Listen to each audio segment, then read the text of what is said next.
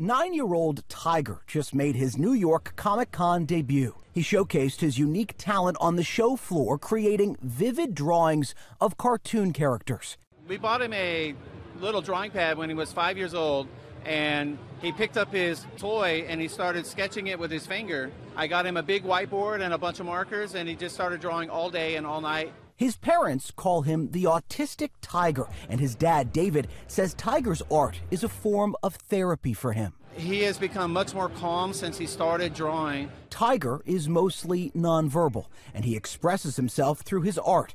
That's gained him media attention and live TV appearances. David says Tiger becomes hyper focused when he's in the spotlight.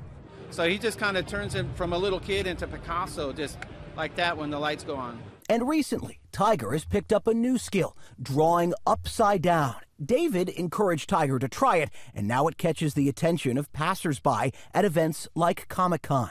But it's something he can do, and it's something we like to showcase because it, it shows people what he is capable of doing. But David says he doesn't want his son to only be known as an autistic artist. Now, there's no, you know, one type of autistic person. We want Tiger not to be a poster child for autism, but to show people what these kids are capable to do.